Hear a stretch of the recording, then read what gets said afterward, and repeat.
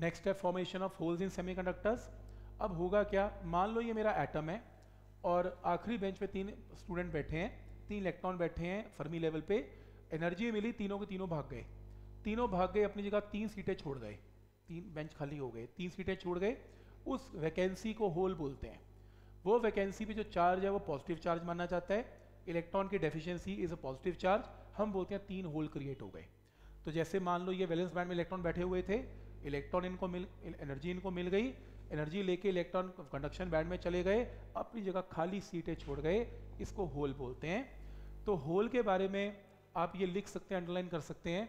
Hole is considered as a seat of positive charge having a charge equal to that of electron तो electron के ऊपर charge होता है, लेकिन positive होता है।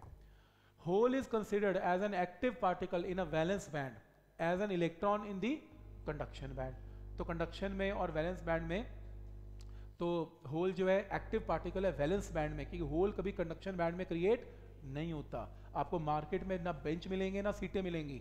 तो होल तो वैलेंस में ही होगा ना कंडक्शन में क्यों होगा? तो कंडक्शन में क्या होंगे? फ्री इलेक्ट्रॉन्स मेरी क्लास में क्या जो फ्री इलेक्ट्रॉन कहाँ से गए? मेरी क्लास से गए, मेरे एटम से गए। तो एटम में क्या क्रिएट कर गए? होल्स अब होल की एक समस्या है। तीन होल वहाँ क्रिएट हुए हुए थे। उसे पहले इलेक्ट्रॉन बैठे थे। इलेक्ट्रॉन देखा अच्छा सीट खाली है? नेगेटिव अट्रैक्टेड बाय पॉजिटिव उनकी सीट पे जाके बैठ गए। यार मेरी क्लास में बेंच घूम रहे हैं।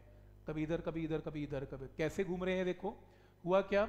ए, आपने एनर्जी दी यहाँ होल क्रिएट हो गया। इलेक्ट्रॉन फ्री टू मूव पड़ोस के इलेक्ट्रॉन ने को भी एनर्जी मिली। ये फ्री हुआ। फ्री चलते चलते इसने अच्छा यहाँ पॉजिटिव चार्ज है।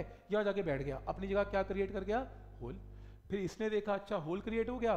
तो ये होल पे आगे बैठ गया, होल यहाँ पे आ गया। तो एटम के अंदर क्या हो रहे हैं? होल्स ही होल्स क्रिएट हो रहे हैं। ठीक है? और ये बिल्कुल वैसे ही है, जैसे यहाँ पर 25 क्लासें चल रही हैं। 25 एटम्स हैं लोग पूरी मार्केट में। नीचे मार्केट ही मार्केट है।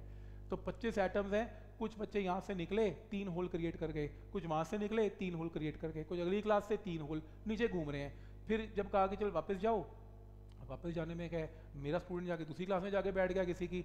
दूसरे एटम में जाके बैठ गया, पर मेरी जगह क्या क्रिएट कर गया?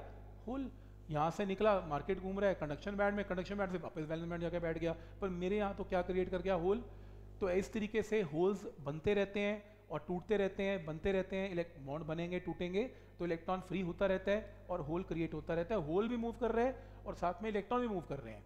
तो इलेक्ट्रॉन मूव कर रहे हैं कंडक्शन बैंड में फ्री इलेक्ट्रॉन्स और होल कहाँ मूव कर रहे हैं? इन वैलेंस बैंड में। तो इलेक्ट्रॉन का कंडक्शन बैंड में मूव करना और होल का वैलेंस बैंड में मूव करना दोनों इलेक्ट्रिसिटी में कंट्रीब्यूट करते हैं। हमने करंट इलेक्ट्रिसिटी की थी कंडक्टर्स में सिर्फ़ इलेक्ट्रॉन इलेक्ट्रिसिटी में कंट्रीब्यूट करते हैं। सेमीकंडक्टर में इलेक्ट्रॉन्स कंडक्शन बैंड में फ्री इलेक्ट्रॉन्स कंडक्शन बैंड में और होल्स का मूव करना वैलेंस बैंड में दोनों इलेक्ट्रिसिटी में कंट्रीब्यूट करेगा। तो total current of semiconductor is sum of electronic current as well as hole current दोनों सम के इक्वल है। ठीक? तो ये बताया हुआ है इसमें कि एनर्जी लेवल से होल कैसे बना के दिखाया स्ट्रक्चर में होल कैसे बना के दिखाया, ये बना के दिखाया इसमें। और इलेक्ट्रिकल कंडक्टिविटी इन सेमीकंडक्टर में ये बताया हुआ है कि एंड में पढ़ लेते हैं कि there are two streams of current in a semiconductor एक इलेक्ट्रॉनिक करंट कंडक्शन बैंड का करंट इलेक्ट्रॉनिक करंट है, और होल करंट वैलेंस बैंड के करंट को होल करंट बोलते हैं। और total current is sum of both the currents ठीक?